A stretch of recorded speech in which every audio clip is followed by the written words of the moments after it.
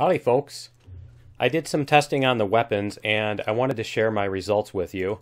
So let's take a look at the results here.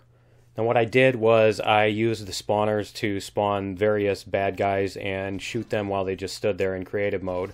And this allowed me to determine how many shots it takes to kill them and therefore how many hit points of damage they do, assuming that the reported damage is accurate.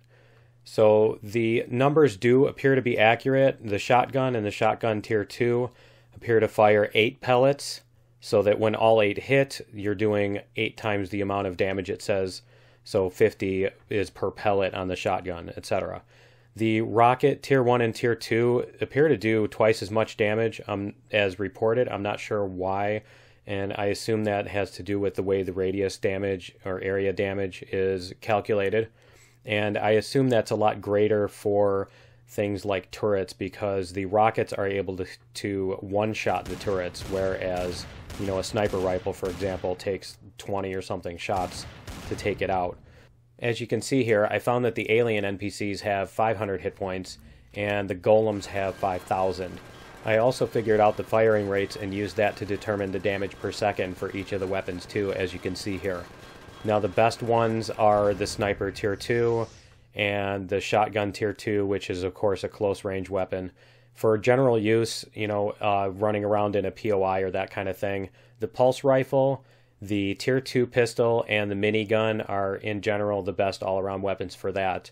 And you can actually do this much damage per second if you use a trick where Instead of stopping to reload, you carry multiple copies of the weapon and you just switch slots when the other one is almost empty so that you can just continuously fire. And obviously you only have nine slots, so even if you were to fill up, you know, your, your entire bar with one type of pistol, you're still going to run out of ammo at some point.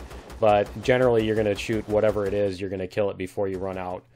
So this is a decent approximation of what you're going to get in actual practice. The weapons I don't recommend right now for anything are the Sniper Tier 1 because for some reason it only does 80 points of damage, which is really weird. And I did test that and it actually does only do 80 points of damage. I don't know why. But anyway, that and the laser pistol and laser rifle are also pretty much not worth using at this point. I'm not sure why they decided to make lasers slow, but they are, and you have to lead with them, and, and stuff moves around at a pretty decent speed compared to how fast your shot goes. So it's actually a pain to hit anything with those. And so, in my opinion, they're not really worth using at this point in the game.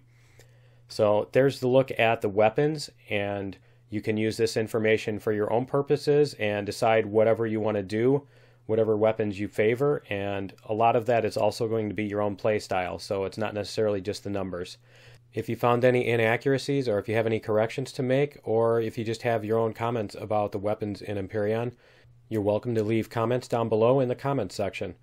If you've got a favorite weapon or a certain trick that you've figured out that you think others might enjoy, then let us all know about it. Anyway, there's the information, and you're welcome to use it any way you like. Thanks for watching, and we'll see you later.